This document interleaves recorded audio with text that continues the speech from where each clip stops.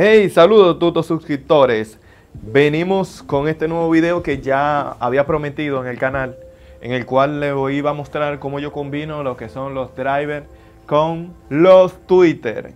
Y le voy a mostrar cómo yo la conecto y cómo protejo también esos drivers para evitar perderlos. Y como vimos en un video por ahí, señores, eso no significa que nunca se te van a dañar los drivers, como quieren decir muchas personas. No, tú vas a evitar de que se te dañen, claro, lo vas a proteger al máximo, pero a cualquiera se le puede dañar un driver. Vamos a ver acá, aquí tengo este cajón que es el que utilizo, es un cajón que hice a la medida de, ese lo hice yo, a la medida de, de los drivers que utilizo y está forrado con fibra de vidrio y pintado. Eso lo hicimos, gracias a Dios, para uno de los sonidos que estoy trabajando. Y como vieron también, estoy utilizando acá eh, de lo que es la marca Comando, lo que son unos drivers con sus, respectivos, con sus respectivos difusores. Estos difusores son de aluminio, como ven. Y lo coloco de la siguiente manera. Acá, dos drivers o dos difusores en la orilla y un Twitter punte bala en el centro. Pero vamos a ver ahora la conexión interna, cómo yo lo conecto.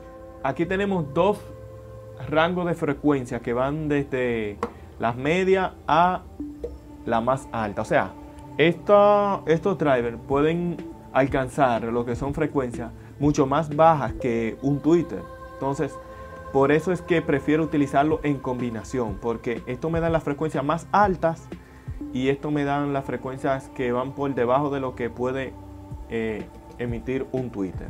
Según las especificaciones de estos drivers, dice que la frecuencia que ellos manejan es de, desde 2 kHz hasta 35 kHz.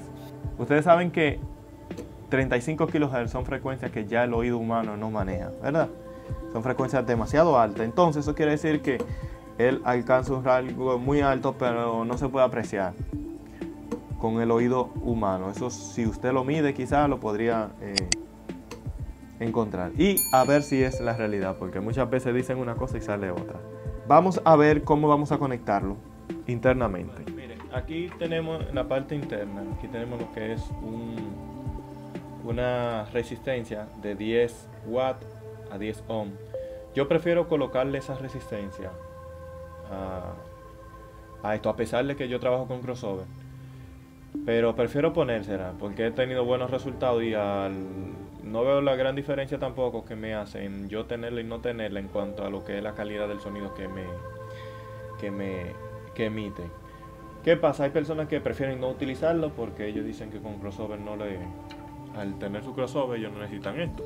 Bueno, cada quien, cada quien con su tema. Acá, esto sí yo no se lo coloco, lo que es el filtro o el capacitor acá. No se lo coloco, es un capacitor, eh, muchos lo utilizan a 3.3 microfaradios. Yo no utilizo esto cuando yo estoy utilizando el crossover, porque yo le hago el corte en el crossover y ahí yo me evito cualquier tipo de problema o inconveniente. Esto yo lo utilizo en los monitores ya que no lo utilizo, eh, no lo paso por un crossover, entonces esto me permite que si hay un feedback, no me dañe el driver directamente o el Twitter. Entonces yo lo recomiendo esto, pero para lo que usted vaya a utilizar y que no tenga crossover. Para la conexión, acá yo lo que hago es lo siguiente, o vamos a hacer, es que usted va a agarrar la parte donde está el positivo de usted, que se supone que es este rojo. rojo significa positivo y el negro significa negativo. Entonces, lo vamos a colocar en serie. La conexión en serie te va a dar lo que es una facilidad de, de evitar que se te quemen todos los drivers o los Twitter que tengas si en caso de que ocurra un accidente. Si usted lo tiene en serie, se puede quemar uno o se puede dañar uno, pero no se van a dañar todos. De que se dañe el primero, los demás van a dejar de funcionar y es una gran ventaja tener eso. luego de que conectamos el positivo del driver, ¿verdad? Entonces el negativo lo vamos a conectar al positivo del Twitter y del negativo al positivo. Entonces aquí lo que queda es este que es el negativo. Entonces este negativo va al positivo de este driver.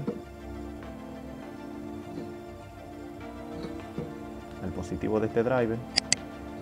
Y por último, debe quedar un cable que es el que viene desde la conexión de atrás y que por cierto es negativo. Como ustedes ven, este no tiene color, indicando de que ese es el negativo. De esa forma, usted protege sus drivers. Entonces aquí lo tenemos. Ya esa es la forma en que nosotros vamos a colocar.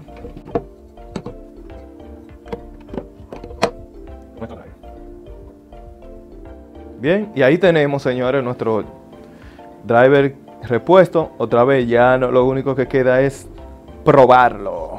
Un consejo más que quiero darle y es que cuando te vayan a utilizar poderes para, o sea, power, para sus drivers o Twitter, traten de no utilizar poderes muy fuertes. O sea, traten de buscar un poder que sea por lo menos de 850 como máximo